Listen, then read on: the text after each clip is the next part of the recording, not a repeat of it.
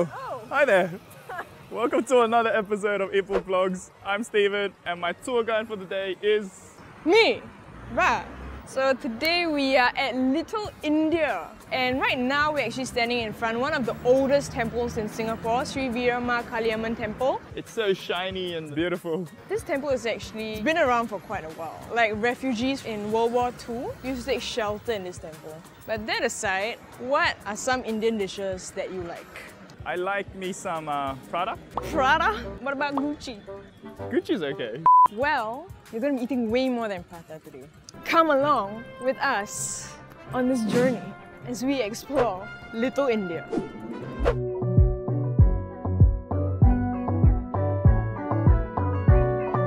So we are now at Tekka Market. Anywhere you go, right? Any neighborhood or estate, you have to go and visit the hawker center. Stephen, do you know what this is? I don't know what this is. If you could pick any name for this dish, what would you pick? I would say diced and sliced pieces of food. Close enough. This is actually called Indian rojak. What really stands out from Indian rojak is the sauce. It looks a little bit like satay sauce, but it's not. It's slightly spicy, but most of it is just sweet. I have never tried this ever. I see a prawn tail there. Everything is super crispy. Man, the prawn flavor in that little piece is so strong. Do you know what this is? Some sort of meat? It ain't meat, buddy. It's tempeh. Now that you've eaten it, what do you think tempeh is?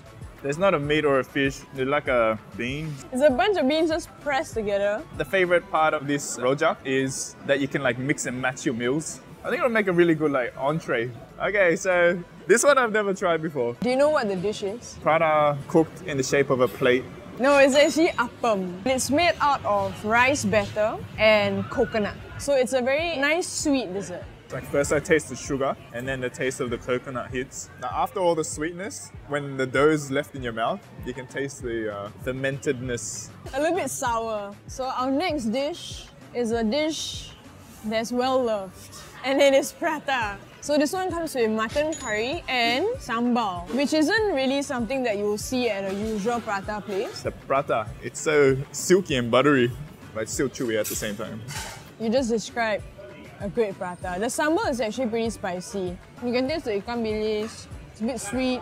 Right now we have a dish that you cannot eat with your hands. So this is prawn mee. It's not Indian food. That's the nice thing about hawker centers is that you have variety. And this is one of the more famous stalls here at Tekka Market as well. So it's the first time I'm trying this prawn mee. I didn't expect the prawn flavor to be so strong. The soup really is the highlight. The pork is chewy, yet very tender, and I prefer rice over noodle. But this one, I think I'll take this over a rice dish. I have some bad news. We have come to the end of our journey at Tekka Market. And you kind of got to hit a lot of like different dishes that you've never tried before. I think my favorite dish that I've tried at Tekka Market is easily this prawn mee dish. You can prawn me anytime. Nobody laughed! We're here at Komala Vilas and we have quite a spread in front of us. So actually, Komala Vilas has been here for 70 years. So you know, they know what they're doing. Okay, so this is masala thosai. It's the typical thosai dough, but on the inside it's stuffed with potato masala. So it comes with two different kinds of chutneys. You have coconut chutney and tomato chutney and sambar.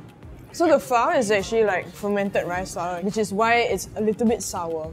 I can really taste turmeric powder. Like the potato is really softly uh, cooked. Let's move on to uh, the next dish. Like at first glance, the idli looks like a flat piece of bread. This one is steamed, so it's like a steamed rice cake. I think eating it with the idli, the flavor of the dip really stands out. So the idli, right, on its own is very, very soft. It kind of flakes as well. So when you put it in your mouth, it like has that melt in your mouth kind of feeling. Shall we move on? This is the vade. It's like the Indian donut. It's not sweet, it's savory. And on the inside, you'll see like onions and then you have chili. And the skin's so crunchy. Fun fact, Stephen, PM Lee has had vade at Komala Vilas before. I've been in at the same place as PM Lee.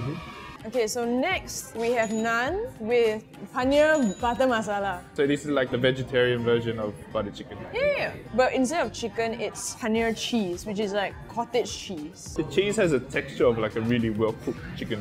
It's very firm, and the sauce itself is super creamy, has that nice butter sauce sweetness to it.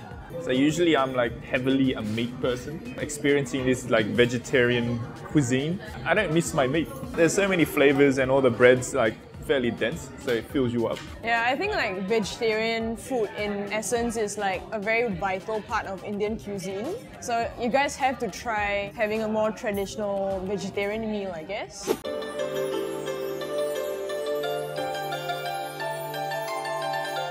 So now we're at the former house of Tan Teng Niah. And Stephen, do you know who Tan Teng Niah is? I do not know. He is actually a Chinese tauke who used to own sweet making factories in Serangoon. This is actually his former home and it's the last surviving Chinese villa in Little India. It's really cool, so I think I might take a second and take a photo. Let me take a selfie. Now that we've done with all my poses and we got lots of cool photos, let's go to the next location.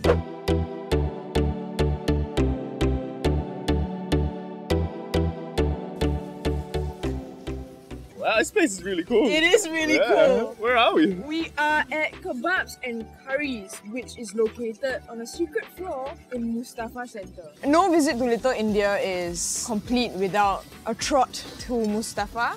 And we've got a feast. Maybe we should start with the cheese naan. The naan, like the base of it where they cooked it, it's like crispy. You get like a strong hit of the cheese flavor on top. You're gonna try some of the buttered chicken. It's creamy, it's a little bit sweet, a little bit of a chat taste of the chicken, which adds a nice flavor to it. I feel like they might have used like the tandoori chicken itself. I think that the chicken's a little too chewy for my liking, but this actual butter sauce is like really good. To the kebabs, To the kebabs! Very, very soft. Not even like mincemeat kind of soft, it's like kind of pasty. First bite is a little salty though. are you ready to try the chicken tikka? I am. I love the hint of lime that was squeezed all over it. I feel like the chicken's too chewy.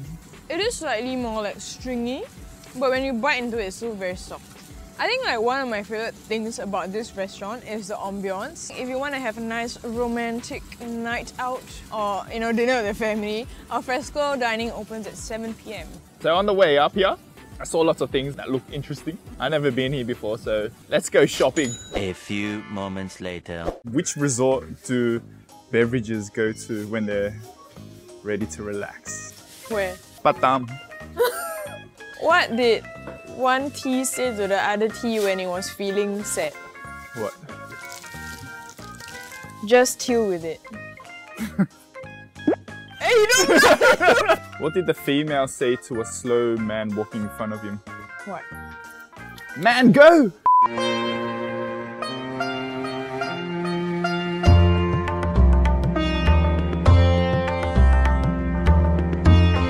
Okay, so now we're here at Muthu's Curry, which is located along Racecourse Road.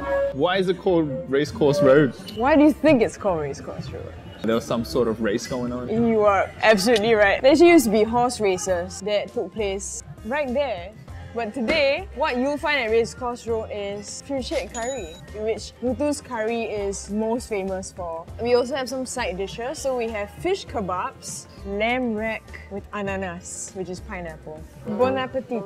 Let us eat. While we sit, we oui, oui. The thing about fish head curry, right, compared to like chicken curry or mutton curry, is that it has a very distinct tanginess to it. The fish is really super tender. Just like disintegrates in your mouth. The curry also has like pineapple and lady's finger. So I guess it adds a nice like sweetness also. Time for us to try the fancy lamb rack. I think the meat is very well cooked because like it's a little bit pink in the middle. You can um, tell it's been cooked over a fire. It's got the char and the smokiness to it. The chutney adds like a slight tanginess and makes a great tasting lamb rack.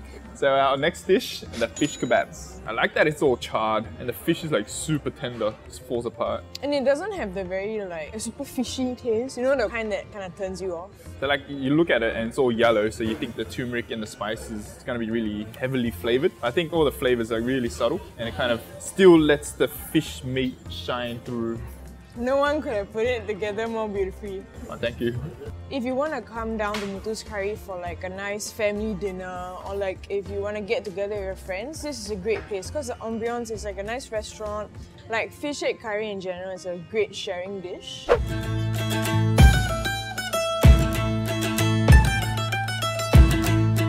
So Azmi restaurant has been around for like around 60 years and their specialty is chapatis and every table kind of has this mutton keema.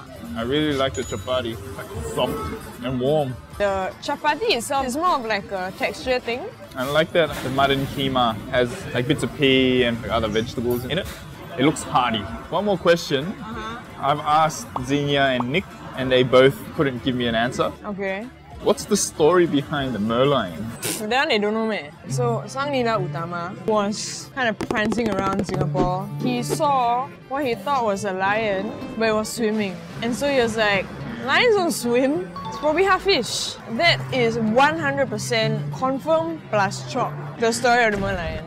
Looking around this place, it looks really traditional, like an old school look to it. And all the uncles that are making the chapati, They look freaking seasoned. Are you gonna learn how to make chapati? no. But I know where to come for good chapati. And if you don't know, all you have to do is just ask me.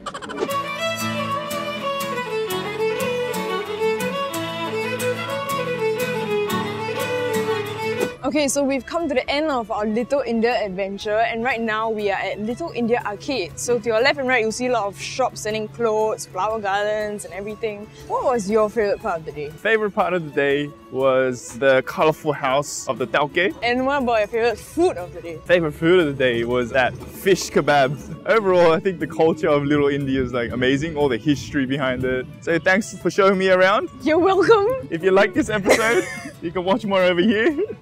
And don't forget to like, share, and subscribe down below. Now we have something very important to do. Are you ready to go shopping? Yes, I am. Okay. Goodbye. See ya.